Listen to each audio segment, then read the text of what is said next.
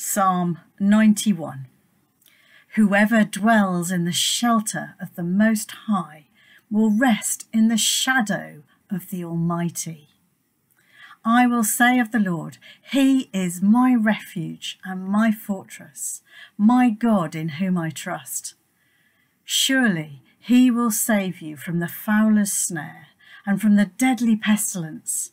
He will cover you with his feathers, and under his wings you will find refuge. His faithfulness will be your shield and rampart. You will not fear the terror of night, nor the arrow that flies by day, nor the pestilence that stalks in the darkness, nor the plague that destroys at midday. During this time of uncertainty, it might feel that the storms of life threaten to overpower us. But we know that we can find shelter and rest in the shadow of the Lord Almighty. We can take refuge under the wings of the Most High. We can draw close to Him and He will shield us from the storm.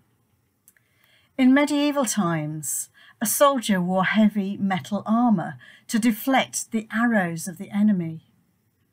But we wear the promises of God. The Lord promises, I will rescue those who love me. I will protect those who trust in my name. When they call on me, I will answer. Put on the armour of God's promises and stand against the enemy. Today, we need the protection of constant hand washing, of social distancing, and of self isolation. But we also need to look at God's promises and claim them as our own.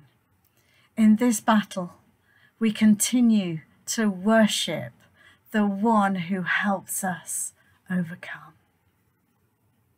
Amen.